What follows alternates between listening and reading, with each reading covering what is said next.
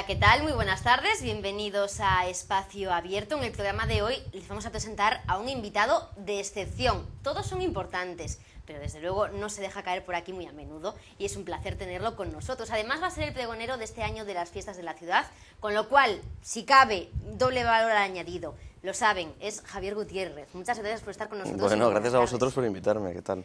Bueno, como decía, un placer tenerte aquí porque eres el pregonero de las fiestas de Ferrol de este año. También hay todo que decirlo, es, me imagino que todo un mérito poder serlo. Más que un mérito es un orgullo, un mérito, en mi caso creo que no, pero bueno. Otros más- opinarán lo contrario. Sí, supongo que sí, en mi caso es un orgullo y, y me hacía mucha ilusión algo así, eh, entonces bueno, pues eh, para mí es algo, algo muy a tener en cuenta y, y algo que hago con mucho, con mucho cariño, mucho amor y, y le he dedicado mis horas también, ¿eh? aunque sea un momentito nada más, pero bueno, he pensado cosas bonitas para decir. Escrito por ti entonces, el pregón. Sí, aunque no soy ningún escritor de relumbrón ni mucho menos, pero bueno, te- tengo un pequeño, un pequeño, un pequeño discursito que hacer. Sé que no nos vas a adelantar mucho, pero bueno, algo cuéntanos, lo que puedas, de lo que vas a comentar. Perdón. Las cosas. Las cosas, del, directo. que claro, tienen. perdón, ¿eh? no he pagado el teléfono. Estas cosas suelen pasar, ¿eh? Es complicado. Bueno, no es compl- a nosotros tampoco nos, nos ha costado mucho quedar con Na- hay que nadie me ha dicho que apague bueno. el teléfono y claro, como, se, la verdad como se se- suele decirse en los teatros que apaguen por favor los teléfonos. ¿Qué me preguntabas, perdona? Si nos puedes adelantar aunque sea un poquito. Sé que por Pues- otros compañeros que no has querido Ah, contar te lo han dicho, mucho. ¿no? No, eh, hombre, no hay nada especial, pero, pero prefiero que sea una cosa dicha en el momento, ¿no? Sí te puedo decir que es algo que tiene que ver con mi relación con esta ciudad, desde la niñez, desde la adolescencia y escrita con, como te decía antes, con, mucho cariño y, desde el corazón y desde con un punto de humildad bastante grande, porque de otra forma no se podría hacer, por lo menos en mi caso.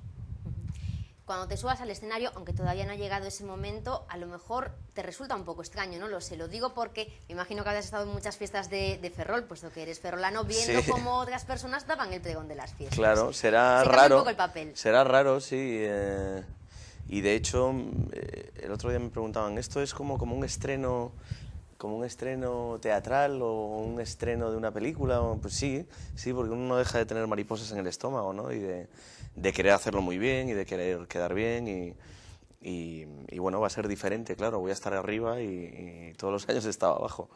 A ver cómo se ve desde arriba, desde el balcón.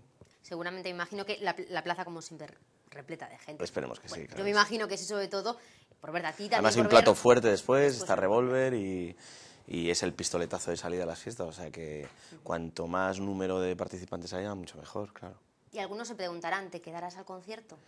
Me quedaré un ratito al concierto porque tengo mañana función, que esa es otra, me he escapado porque estoy haciendo en Madrid un, un espectáculo, Tito Andrónico, de William Shakespeare, en el Teatro Español, y han tenido la deferencia de dejarme este día libre, ya lo había negociado con mucho tiempo de antelación, claro, pero me escapo, o sea, mañana me voy eh, por la mañanita y volveré el lunes para disfrutar de unos días aquí en Ferrol. Te quedas unos días para las fiestas y para el verano que parece que viene ahora. Para el verano, sí, a ver si me pongo moreno como tú, estoy blanco nuclear. Eh, En Madrid hace buen tiempo, pero claro, si En que Madrid, hace, tanto... en Madrid hace muy buen tiempo. Lo que pasa es que los actores tenemos un problema que se llama raccord. Entonces esto quiere decir que, que no te puedes poner, no puedes aparecer un capítulo blanco y al- en el siguiente moreno de una secuencia a otra. Entonces tenemos por contrato prohibido tomar el sol, como muchas otras cosas. Pero son, son las miserias del, del negocio de, de ser actor. Y encaje de bolillos, ¿no? Para venir aquí era una cita que no te querías perder. Me imagino que cuando te llamaron y te dijeron, oye, ¿quieres ser pregonero de la ciudad? Pues dijiste tú, pues enseguida me pongo yo aquí a hacer Sí. la agenda como sea posible. Claro, pero es que además eh, siempre que han contado conmigo o han pensado en mí, yo no he dudado ni un momento en... recuerdo ahora mismo un saque de honor en, un partido del Racing de Ferrol o ahora hace poco en, la Feria del Libro que di una charla sobre la interpretación o sobre el mundo del teatro, sobre el mundo de la relación de los actores con, los libros. Y siempre, siempre saco un hueco para, para mi ciudad y, y todo lo que haga por ella va a ser poco, o sea que estoy aquí para arrimar el hombro como cualquiera. Y yo una duda que tengo de los actores, porque hablabas de la obra de teatro, estás también con la grabación de los capítulos de Águila Roja. ¿Cómo podéis tener tantos textos en la cabeza y no liaros? Sí, eso me dicen mucho. porque además eh, en el cine y en la televisión eh, contamos con la ventaja que se puede cortar en cualquier momento, pero en el teatro no. Y ahora mismo estoy haciendo un espectáculo de tres horas con unas tiradas en verso larguísimas y se pasa mal y a la vez se pasa muy bien. Eh, estamos un poco locos en ese sentido, ¿no? Porque empieza el espectáculo, tienes una tirada de texto enorme, tienes tres horas por delante de espectáculo y tienes la presión de igual 800, 700 personas mm, fijándose en todo lo que haces, ¿no? Entonces eh, es complicado, pero bueno, mm, forma parte de esta profesión de locos, ¿no? De Shakespeare, me parece que decías, un encima complicado. ¿eh? Andrónico es uno de los primeros textos de Shakespeare que escribió con 22 años y hay más de 30 asesinatos en, en escena.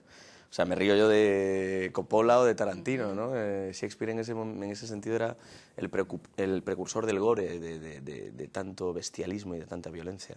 Aunque luego escribió cosas muy poéticas y, y textos maravillosos, pero este también es uno de ellos, pero muy salvaje, muy salvaje para la época. ¿Y estás solo en Madrid o también vais a hacer gira? No sé si en Galicia algo Vamos a hacer gira. De hecho, nos vamos eh, a finales de septiembre a Sevilla, iremos a Vitoria, Logroño, a Pamplona, que yo recuerde, ¿eh? Girona, seguramente Colombia, México, y hay alguna cosa más cerrada por ahí, pero de momento eh, Galicia no. Así que, bueno, a ver si podemos venir. ¿Y para cuándo una obra que nos vengas a traer al Jofre? Eso ya no depende, eso ya no depende de mí. Sabes que en los últimos años, yo además eh, lo he dicho, es una espinita que tengo clavada, eh, con Animalario, con, con mi compañía, eh, hemos venido en los últimos años a Narón, hemos traído Hamelin, que fue Premio Nacional de Teatro, hemos venido con Alejandro Llana, que ganó todos los Maxes, que es una suerte de Goyas en el teatro, los Goyas los, los entregan en el cine, los dan en el cine, y hemos venido con Argelino, servidor de Osamos, eh, nada, hace unos meses. Y siempre me ha quedado esa cosa de por qué no, por qué no venir al Jofre, ¿no? Bueno, no sé si es una cuestión de presupuesto, de, de programación, que de repente no, eh, no, no, son espectáculos que, que, cuadren con la programación, que yo creo que sí. Y es algo que se deberían de preguntar los ferrolanos o los políticos encargados de la cultura en esta ciudad, pero te aseguro que nosotros estamos dispuestos y abiertos a venir con, con cualquier espectáculo a Ferrol. Bueno, pues hay una llamadita de atención, Por que los ferrolanos seguro que te Yo las hago, ver ¿eh? también. las hago mucho. ¿Mm? Sí, sí, porque mm, Narón en ese sentido trae muy buenos espectáculos y Ferrol, yo no digo que no lo haga, pero tiene una, una programación más, eh, más cerrada, menos, menos eh, valiente, para mi gusto, en ese sentido. Pues hay que echarse a la piscina, porque Claro. aparte muchos ferrolanos Un toque de atención de vez en cuando no viene mal, ¿eh? Hablábamos del teatro, pero también en esa serie tan afamada, Águila Roja, que estáis eh, grabando, me parece, capítulos. ¿Cuándo vamos a, a poder ver la, la temporada? Porque siempre en las teles ponen próximamente y nos damos mordiendo las uñas a ver cuándo es ese próximamente. Claro, sí, sí, pasa como con los bloques de publicidad, ¿no? Que te puedes duchar, hacer la cena, irte de compras. Eh, pues estamos, ha sido tal el éxito que estamos grabando la segunda y la tercera con, eh, temporada completas, ¿no? Para emitir, pues no lo sé.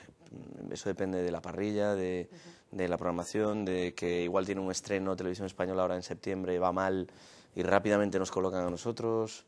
No sé, el mundo de la televisión es muy, muy complicado. Está regido por, por los directivos de las cadenas que muchas veces no sabes lo que piensan ni puedes estar en la cabeza de ellos, ¿no?